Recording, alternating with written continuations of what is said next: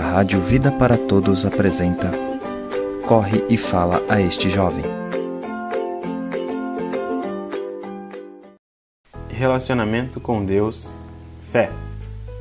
Já falamos sobre vários tipos de relacionamento: com os pais, com amigos, com coisas. Chegou a hora de falar do tipo de relacionamento que deve permear cada um deles: o relacionamento com Deus. É fácil assimilar a necessidade de se relacionar com pessoas e coisas, afinal, nós as vemos, tocamos e sentimos, e elas estão ao nosso alcance. Para alguns, relacionar-se com Deus não é simples de assimilar. A maioria dos filhos de Deus inicia muito bem, mas muitos têm dificuldade de manter.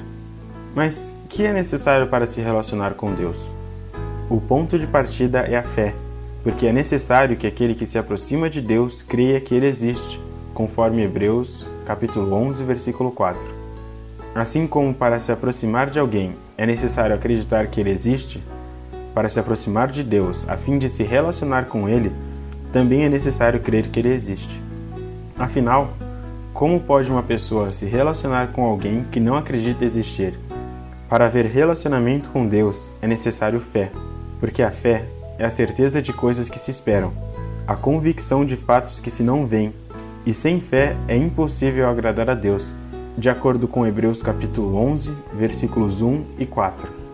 Ou seja, fé é a capacidade de acreditar no invisível, no intocável. E a fé vem pela palavra. Quanto mais a ouvimos, mais nossa fé aumenta.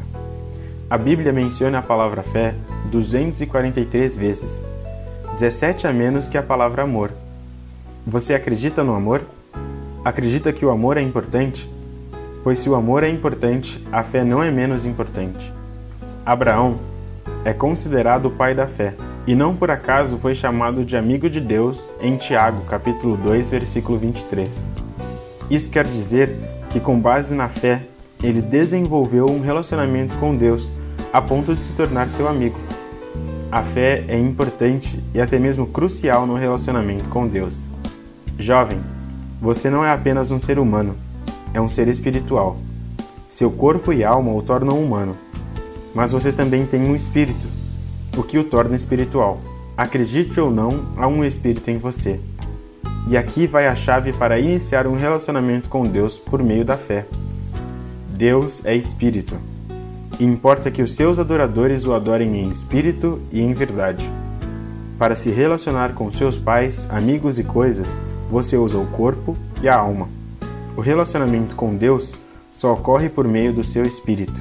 É preciso voltar-se da mente e da carne para o espírito. Essa é a chave.